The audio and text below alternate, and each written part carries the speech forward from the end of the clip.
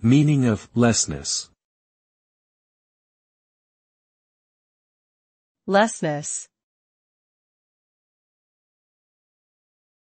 Lessness. lessness, Lessness. The suffix lessness is used to form abstract nouns that indicate the absence or lack of a particular quality, state, or condition.